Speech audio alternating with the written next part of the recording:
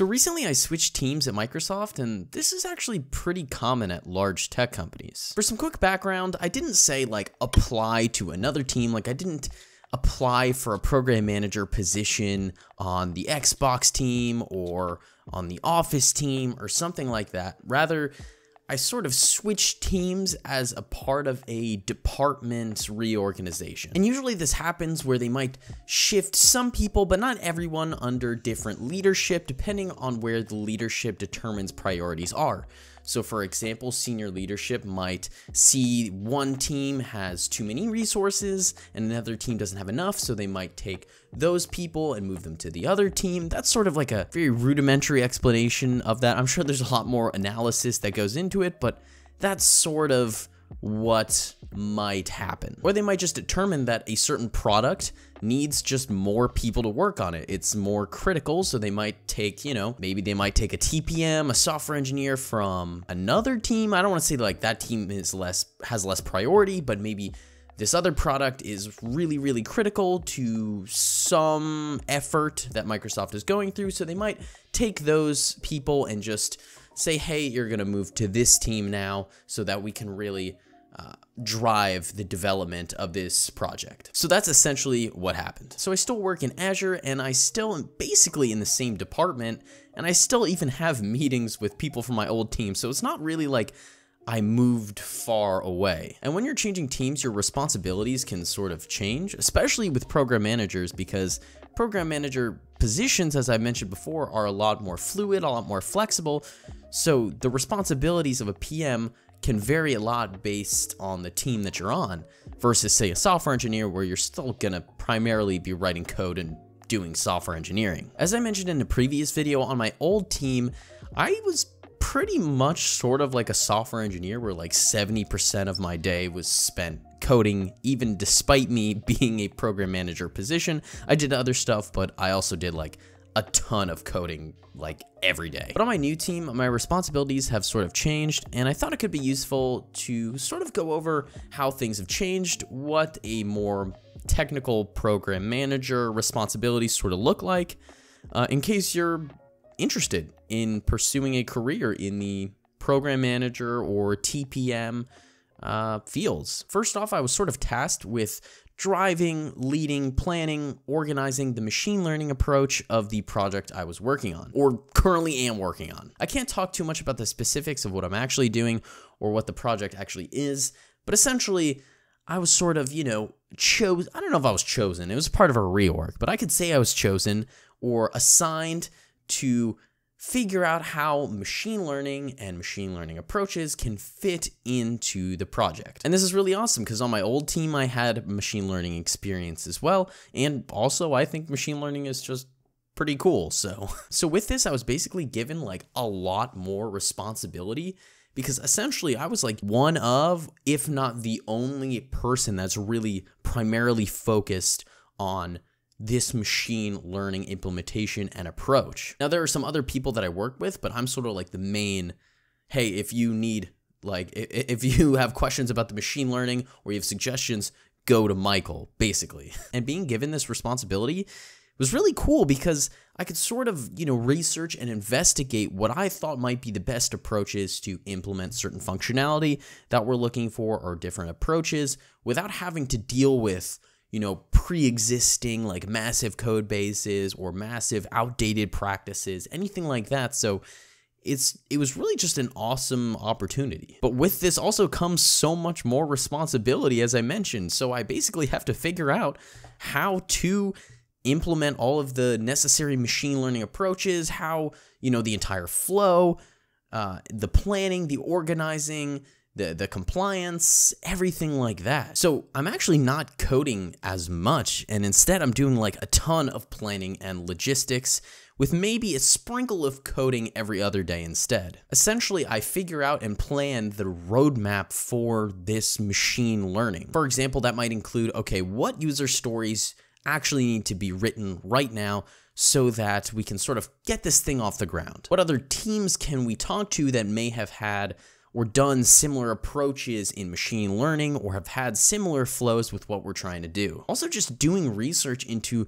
machine learning approaches, frameworks, uh, platforms, anything like that. And also all of the tangible things that come out of the things I just mentioned. So, whether that's like creating roadmap diagrams or creating research documents or working with engineering managers and software engineers or working on UI mockups or UI displays, as well as just presenting the actual documents and plans and sort of my vision on where to take things that I'm responsible for. I'm also a backup meeting host, so I work on a team with three TPMs. So, say when our primary TPM is out, I basically have to fill in for him. So, that includes hosting and going through all of the uh, grooming sessions in you know the agile framework. So if you're not familiar you basically have to groom user stories to make sure they're ready for engineering or ready to be worked on by pms so i had to do basically host and run through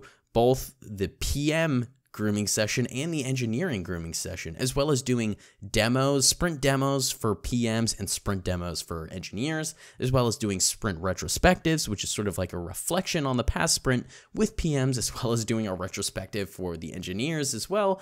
So, all of that normal agile process stuff as well, combined with the main machine learning stuff that I'm also focusing on. So I'm definitely coding less, but I actually really like what I'm doing now because of that responsibility, but also that opportunity to, you know, see where we can sort of take things and what are the best approaches.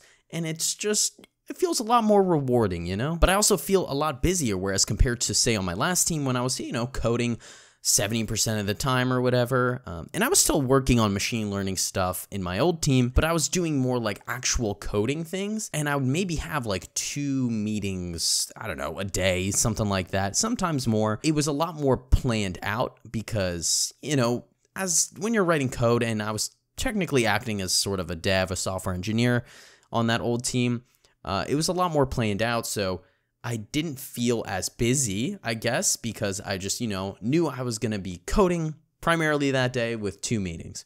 Whereas now it's just like, okay, I'm gonna, I might code a little bit in the morning and then it's like, oh, I have to run this meeting. And then I might get called into another meeting for a software engineer on a different team to ask them questions. Or, oh, I have to I have to submit this research document or this onboard document. Oh, I have to reply to these emails to other teams oh yeah, I have to present the roadmap to upper level management, or uh, this person is calling me into the a meeting to ask me questions about or give me suggestions about machine learning stuff or other things that I'm overseeing or anything like that. So it just feels a lot sort of busier, I guess.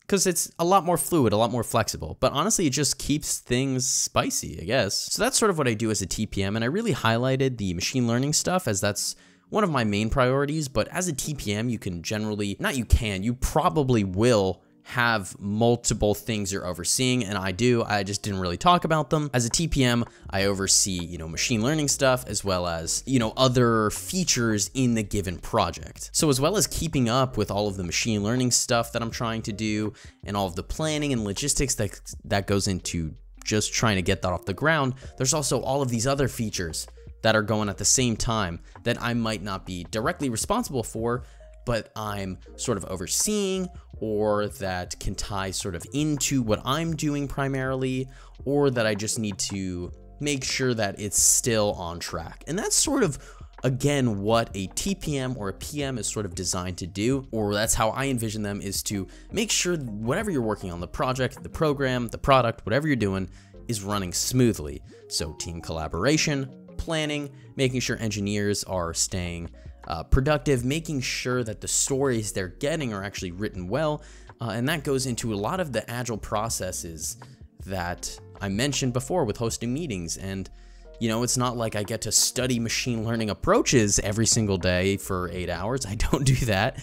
It's still a lot of just process stuff, too. That's really important in general software development. So that's pretty much it. I just wanted to talk a little bit about how my responsibilities have changed compared to my previous team as a part of, you know, a department reorganization rather than like applying to another team in case you are maybe interested in what TPMs actually do. And again, TPMs positions and responsibilities can vary a lot based on whatever company you actually work at. So like I even mentioned in this video, my TPM role on my previous team was doing a lot of coding, whereas now it's doing a lot of planning in different aspects. So again, it's gonna vary based on what you work on. That's it from me. I hope you guys liked the video. My name is Michael, giving you bad British accents at the end of every video.